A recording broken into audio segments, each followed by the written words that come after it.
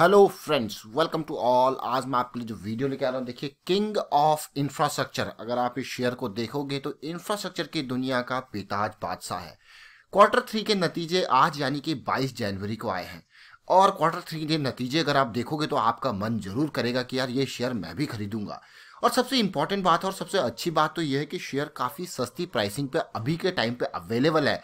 कल की डेट में गैप अप ओपनिंग देखने को मिल सकती है, लेकिन अभी भी मैं कहूँगा, अभी एक दो दिन पहले मैंने इसका वीडियो बनाया था तो बिल्कुल सस्ती प्राइसिंग पे स्टॉक अवेलेबल है। अब कल देखते हैं क्वार्टर थ्री नतीजों का कैसा असर रहता है। उससे पहले आज की डेट में हम जानते हैं क्वार्टर थ्री के नतीजे कैसे रहे।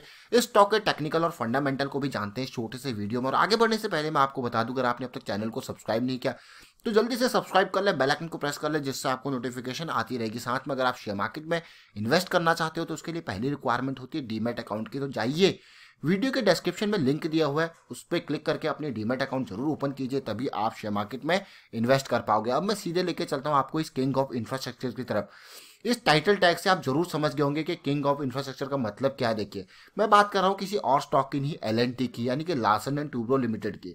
जहाँ पे इंफ्रास्ट्रक्चर का नाम आता है तो एलएनटी सबसे टॉप का शेयर और सबका पसंदीदा शेयर रहता है। और आप देख सकते हो कि एलएनटी के शेयर में आज की डेट में देखिए, एक लाख इक्यासी हज़ार करोड़ का मार्केट कैपिटलाइजेशन है। बहुत ही ज़बरदस्त शेयर है। प्रॉफिट ग्रोथ सेल्स ग्रोथ बहुत ज़बरदस्त है। लेकिन इस कंपनी के ऊपर उधार बहुत है। ये बात है। उधार बहुत है, लेकिन फिर भी मैं कहूँगा बहुत ही ज़बरदस्त शेयर जिस प्राइसिंग पे अभी अवेलेबल है, बहुत बेहतरीन प्राइसिंग पे अभी अवेलेबल है। अब देखिए एल के शेयर को अगर मैं देखूँ, आज की डेट में जो इसका कारोबार रहा, वो देखिए, फिर रिज़ल्ट की तरफ़ फोकस करते हैं। आज की डेट में बारह का इसका प्राइस है। ओपन देखिए, तेरह के आसपास ओपन हुआ, तेरह का हाई बनाया, लेकिन क्लोजिंग आज तेरह के आसपास रही। कल का क्लोजिंग 1302 था, लेकिन आज की डेट में बारह के आसपास। लेकिन आज के रिज़ल्ट को आप देखोगे, आपको मज़ा आ जाएगा। 49 परसेंट डिलीवरी ज़रूर देखने को मिली, और इस स्टॉक को जरा देखें आप। ये मैंने अलग अलग टाइम फ्रेम पे आपको फिर से ये चार्ट दिखा रहा हूँ, किस तरीके से कितना औसम मंथली चार्ट को आप देखिए, बिल्कुल बॉटम पे। वीकली चार्ट के आप देख सकते हो, बिल्कुल बेस पे, और इवन डेली चार्ट पे हल्का सा पॉजिटिव सेंटीमेंट ज़रूर देखने को मिल रहा है, और आवरली चार्ट पे तो आज बिल्कुल एक इंडिसीजन वाली कैंडल बन रही है। यानी कि कल गैप अप पैटर्न पक्का है भाई। अब देखते हैं रिज़ल्ट कब आया।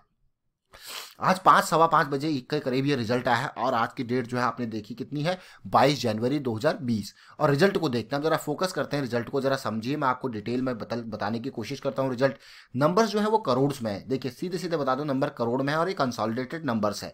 अगर मैं बात करता हूँ टोटल इनकम की तो टोटल इनकम कितनी हुई है? छत्तीस करोड़।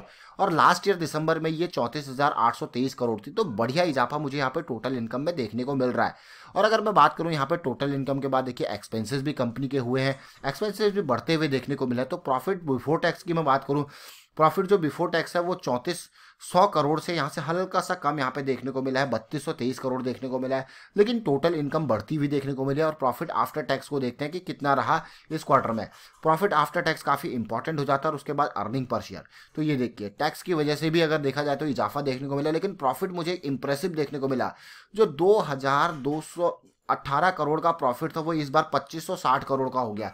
यानी कि सीधे सीधे मोर देन 300 करोड़ का जंप यहाँ पे देखने को मिला प्रॉफिट में 300 करोड़ का जंप जो कि अच्छी बात है। सितंबर क्वार्टर में यही नंबर पच्चीस करोड़ के तो आप क्लियरली देखिए नंबर को 300 करोड़ से ऊपर का जंप है। 300 करोड़ से नहीं, मैं कहूँगा 340 करोड़ के आसपास का ये जंप इंप्रेसिव जंप मुझे देखने को मिल रहा है।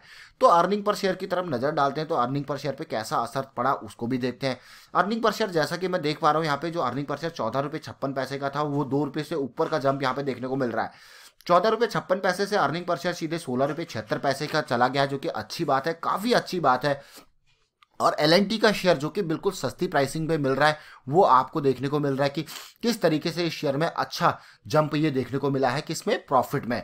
अब ये देखिए, आप क्लियरली रिवेन्यू को देख सकते हो कि इस साल ये सबसे टॉप का रिवेन्यू आया है। आप देख लीजिए क्लियरली टॉप का रिवेन्यू आया पिछले कुछ टाइम से। देखिए, अगर लास्ट ईयर दिसंबर को कंपेयर किया जाए, उससे पहले के दिसंबर को कंपेयर किया जाए तो इस दिसंबर का ये टॉप का रिवेन्यू है। उसी तरीके से अगर मैं प्रॉफिटेबिलिटी की बात करूँ तो पिछले दिसंबर में, यानी कि दो हज़ार अठारह वाले दिसंबर में आपने देखा किस तरीके से प्रॉफिट कम था, उससे पहले के दिसंबर में देख लीजिए। लेकिन इस बार का प्रॉफिट का नंबर इंप्रेस इम्प्रेसिव नंबर मुझे देखने को मिल रहा है और वो नंबर मैंने आपको इसीलिए दिखाया, यहाँ पे ये कंसोलिडेटेड नंबर है जो मैंने आपको नंबर यहाँ पे दिखाया।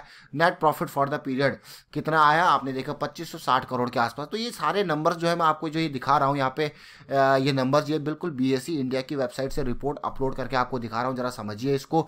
अब चलता हूँ मैं टेक्निकल चार्ट पे। आपने देखा फंडामेंटली स्ट्रॉन्ग शेयर है और बहुत ही बेहतरीन प्राइसिंग यहाँ पे चल रही है। और लेकिन अब बात करते हैं स्टॉक की। इस स्टॉक की अगर लॉन्ग टर्म इन्वेस्टमेंट की बात की जाए तो मैं जैसा कि देख पा रहा हूँ कि 2016 के बाद इस स्टॉक ने ज़रूर रिटर्न अच्छा दिया, लेकिन यहाँ पे पोजिशनल ट्रेडर के लिए अच्छी कमाई है rather than long term trader के लिए। आप देख पा रहे हो कि पोजिशनल ट्रेडर जैसे ही अपने बेस के आसपास जाता है, यानी कि बारह के, तेरह के रेंज में जाता है तो अट्रैक्टिव जो है बाइंग यहाँ पे होती है। आप ये देखिए, ये ये कैंडल देखिए आप, ये सात, यानी कि जुलाई 2018 फिर उसके बाद आपने ये कैंडल देखी है, अक्टूबर 2018 फिर से ये कैंडल बनी है फरवरी 2019 और फिर उसके बाद ये मौका अभी चार पाँच महीने पहले जो आया था, वो मौका ये था आठ 2019 और उसके बाद अभी रिसेंटली बारह 2019 में ये मौका आया दिसंबर में। अगर मैं बॉटम पॉइंट देखूँ तो बारह के आसपास था।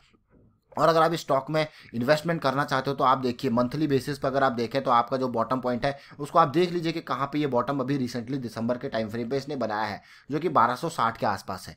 तो अच्छा टारगेट और इस लेवल पे सस्ती प्राइसिंग पे मिल रहा है, और डेली चार्ट पे देखिए, इसीलिए मैं आपको ये मंथली है, ये वीकली है, और ये डेली चार्ट है। डेली चार्ट में मैं देख पा रहा हूँ, जिस तरीके से हायर लोज फॉर्मेशन देखने को मिल रही है, और हायर हाई हाईवी फॉर्मेशन देखने को मिल रही है, और मुझे लगता है कहीं ना कहीं ये आज की डेट में एक बड़ी जो है गैप अप ओपनिंग था और उसके बाद बिल्कुल नीचे होकर बंद हुआ, लेकिन कल की डेट में जब इस रिज़ल्ट का असर देखने को मिलेगा तो एक पॉजिटिव सेंटीमेंट हम देख सकते हैं और 1350 का जो ये हाई था इसको पार करेगा तो और भी एक स्ट्रेंथ देखने को मिल जाएगी स्टॉक में।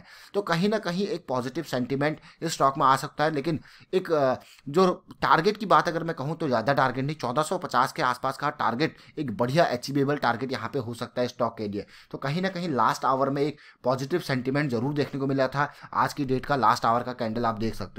तो ये सारे डिटेल में आपको इसीलिए दिखा रहा हूँ। आप इसमें, आप देखिए, ये तो सिंपल मार्केट स्ट्रक्चर में आपको बता रहा हूँ। आप इसमें अगर आपको सिंपल ट्रेंड लाइन ड्रॉ करनी है, कुछ भी ड्रॉ करना, आप देख सकते हो। लेकिन जो सबसे इंपॉर्टेंट बात है कि ये बॉटम पॉइंट, जिसको आप कह सकते हो कि जॉइंट्स जो है, स्विंग्स के बीच के जॉइंट्स, और अभी जो जो चार्ट आपको देखने को मिल रहा है, बिल्कुल स्विंग के बीच के जॉइंट पे है। और ये कैंडल को आप देखिए, जो इंडिसीजन वाली कैंडल थी, काफ़ी इंपॉर्टेंट कैंडल थी ये बारह नौ दिसंबर के आसपास की जो कैंडल थी, काफ़ी इंपॉर्टेंट कैंडल मैं इसको कहूँगा, जहाँ पे इसने बारह का प्राइसिंग बनाया था। उसके बाद शेयर ने काफ़ी अप डाउन दिखाया है पॉजिटिव स्ट्रेंथ ज़रूर दिखाई है, लेकिन ओवरऑल मैं इसको कहूँगा एक बॉटम फ़ेज़ बनाने वाला बात मतलब कि बॉटम बना रहा है यहाँ पे देखिए आप क्लियरली देख लीजिए बॉटम बना रहा है। और इसी तरीके का कैंडल जब लास्ट टाइम पे स्टॉक ने जंप लिया था, जो कि अक्टूबर अगस्त वाली बात थी। अब अगस्त वाले टाइम फ्रेम पे आप देख सकते हैं ये आठ तेईस दो हज़ार उन्नीस को। इसी तरीके से इसने सिमिलर काइंड ऑफ़ पैटर्न बनाया था। जंप आया था, फिर अगला जंप आया था सिमिलर लाइन पे और फिर ये नीचे इसी बॉटम पे देखिए वन टू थ्री और उसी तरीके से वन टू थ्री इसी काइंड ऑफ़ पैटर्न ये अभी भी बनाता हुआ और मुझे लग रहा है कि कहीं ना कहीं अब ऐसे रिज़ल्ट के बाद एक पॉजिटिव स्ट्रेंथ ज़रूर देखने को मिलेगी। और रिज़ल्ट तो आपने देखा है और एल के शेयर को खरीदने के लिए पूरी की पूरी लाइन लगी होती है और आज की डेट में जो बड़ी गिरावट इसमें देखने को मिली है, क्योंकि मार्केट में भी करेक्शन हुआ है। इसीलिए बड़ा शेयर और सीधे सीधे मार्केट का असर इसको देखने को मिलता है। और कल रिज़ल्ट के जस्ट बाद वाला डे है तो आप सोच लीजिए कि किस तरीके से अच्छा रिज़ल्ट आता तो अच्छा रिस्पॉन्स डेफिनेटली देखने को मिलता है। और कहीं ना कहीं मुझे लगता है कि लॉन्ग टर्म परस्पेक्टिव से अच्छा है स्टॉक में अगर आप स्विंग बेसिस पे ट्रेड करने की सोचे और स्विंग का जो है, वो सेकंड हाफ़ स्टार्ट हो रहा है। ऑलरेडी फ़र्स्ट हाफ़ जो डाउन का था, लेकिन अब सेकंड हाफ़ जो है इम्पल्स वाला, जो पॉजिटिव वाला पार्ट है, वो स्टार्ट होने वाला है। बस इसी रिज़ल्ट का इंतज़ार था 22 जनवरी। 22 जनवरी ऑलरेडी आ चुकी है।